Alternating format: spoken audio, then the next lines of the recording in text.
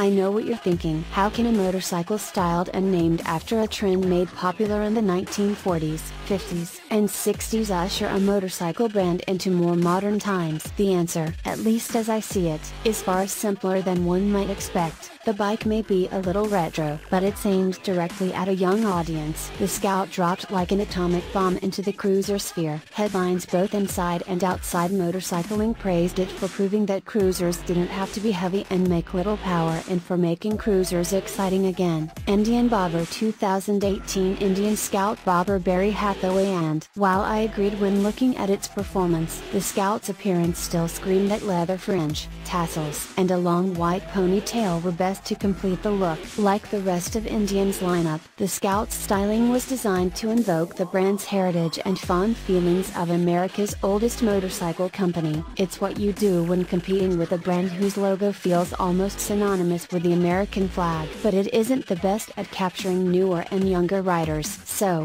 while bobbers are inherently retro when looking at the current range of motorcycles offered in 2017, it's the first motorcycle Indian has designed with the goal of appealing to guys like yours truly, young professionals and millennials. I learned last week that I'm actually part of the micro generation known as Xennial, who likes stylish things that skew towards the hip. Okay, if I have to say it, hipsters, and hipster adjacent.